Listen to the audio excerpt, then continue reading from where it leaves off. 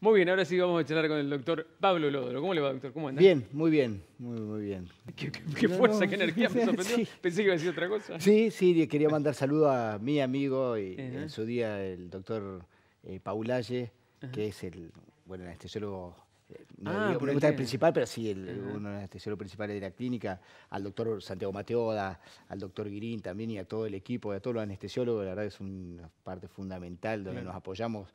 Para mí entrar y verlos en el quirófano es como ya... Una no- tranquilidad. y sí, sí, nos, nos desestresa, nos, nos tranquiliza siempre.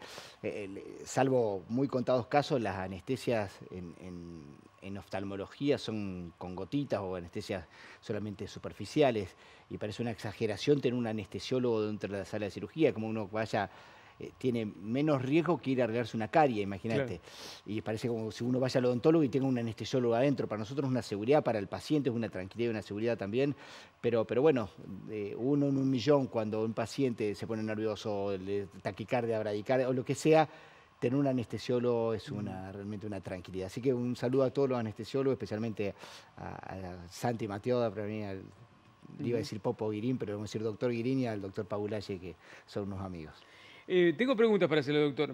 Eh, varias, mire la cantidad que tenemos. Recién, algunas recién Mm. llegadas, que no las leyó, así que no sé si las vamos a No, contestar. no sé, vamos a ver. Doctor, ¿qué significa que tengo un grosor de córnea que no permite que me operen de mi miopía? El oftalmólogo me dijo que es muy fina, dice Sofía 220. Eh, lo que está hablando ahí es la córnea, que es la capa transparente, necesita, primero tiene un grosor que es un, un grosor mínimo como para que sea considerado como un grosor normal. ¿sí? Entonces, esa córnea que tiene que tener un grosor eh, suficiente como para, para mantenerse estable como pared, que no sea muy grande, necesita a su vez tener un grosor suficiente si se la va a pulir con el láser. Nosotros lo que hacemos con la cirugía en el láser, eh, lo que hacemos es sacamos tejido, pulimos la córnea tallándole el aumento sobre la córnea. Al pulirla le vamos a dejar la córnea más delgada. Entonces, hay córneas que no tienen el grosor suficiente previo a la cirugía para ser operadas con láser, pero existen otras técnicas, Ah. por ejemplo, con colocación de lente intraocular, en donde no se toca la córnea y esos pacientes, la mayoría de los pacientes que no pueden ser pasibles de, ser, de recibir una cirugía con láser, se pueden operar con una colocación de lente. Entonces, me dice, no me puedo operar con láser sería. Bien. Doctor Lodolo, quiero saber si usted practica la cirugía de lagrimales o si sabe dónde se hace. Muchas gracias. Eh, la hacíamos acá, ¿sí? Eh, mm, la verdad que ahora en este momento no lo hacemos porque el, el especialista que teníamos con- que trabajaba con nosotros se mudó y mm, la verdad que no sé dónde se hace. Es, es un tema a resolver en la clínica y en Paraná. No, sé, no, no conozco sinceramente en Paraná. ¿Me lo puede averiguar para la semana que viene? Se lo voy a averiguar. Gracias. Gracias. Doctor Lodolo, tengo el famoso ojo perezoso. Me lo descubrieron a los 13 años. Hoy tengo 28. ¿Hay alguna cirugía? Eh, en principios no. Eh, hay dos escuelas. El ojo perezoso es cuando no se desarrolló desde, desde la infancia hasta los 6, 7 años, no se estimuló un ojo, entonces ese ojo ya el cerebro no reconoce la visión de ese ojo. Hay algunos casos, eh, si el ojo es totalmente sano y solamente fue un pro- problema de aumento, que se puede operar, se puede tapar el otro ojo y penalizando es decir, haciendo que, se use ese ojo perezoso, en algunos casos el, paciente logra mejorar la visión. Según los europeos no, ni lo intentan, los estadounidenses cada vez más lo hacen.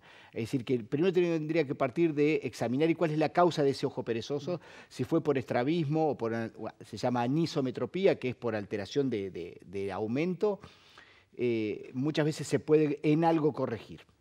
Doctor Lodolo, a mi mamá le lagrimea mucho el ojo, tiene 89 años. ¿Hay algún tratamiento para esto? Muchas gracias. Pregunta Gladys. Bueno, tendríamos que ver cuál es la causa del lagrimeo. Si el lagrimeo es por un- una alteración del conducto, del, tubito que saca la lágrima del ojo y lo lleva a la nariz, que son los conductos lagrimales, hay que ver si se pueden destapar. Muchas veces los destapamos directamente en el consultorio, si no necesita de una cirugía. Pero lo primero que tiene que hacer es ver cuál es la causa, que no tenga alguna irritación, que no tenga pestañas que estén saliendo hacia la superficie del ojo y eso le, raspe, le estimule y le produzca esa sensación de cuerpo extraño y que eso le lagrimee. Entonces, por ahí sacando la pestaña se soluciona el problema. Doctor, usé anteojos toda la vida hasta que me operé hace 10 años en Mendoza. Ahora tengo 49 y empecé a notar algunas dificultades. Me dicen que corresponde otra cirugía. ¿Es normal? Los miro desde Concordia, dice Judith.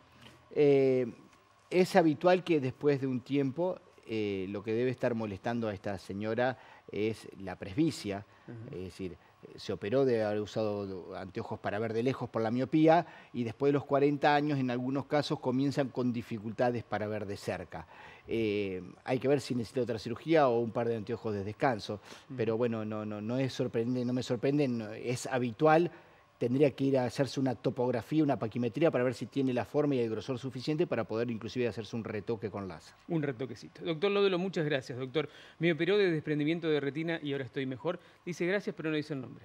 Bueno, Así que te Le agradezco mucho.